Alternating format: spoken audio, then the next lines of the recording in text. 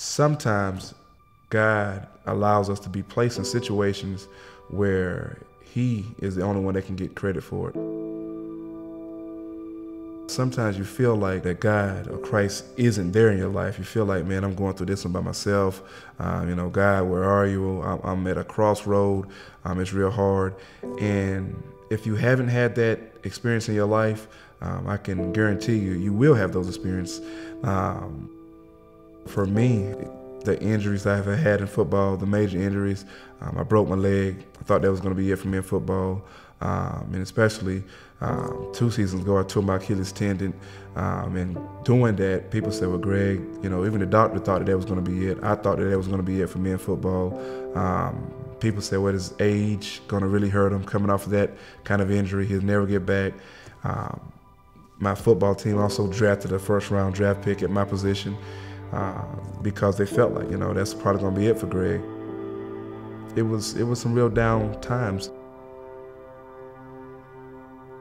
God just had a different plan. He blessed me to be the um, comeback player of the year for the NFL.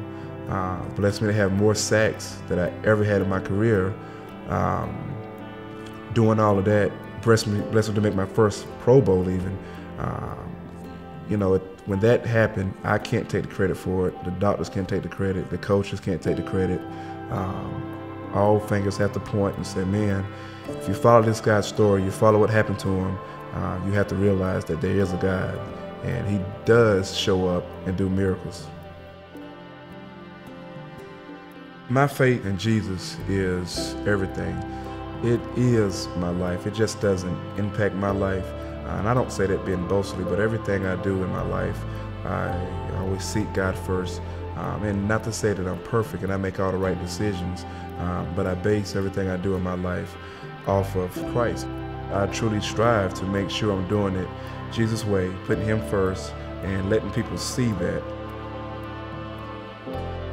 Every time I'm blessed to make a play, if you notice, I'll, I'll, get up and I point both fingers to the sky. I get teased by it, and God said, Why don't you get another celebration dance? And like, man, all the things I've been through in my life, every time I go on the field, every play I'm blessed to make, I always want to acknowledge God. And that's what I do. I'm Greg Ellis, and I am second.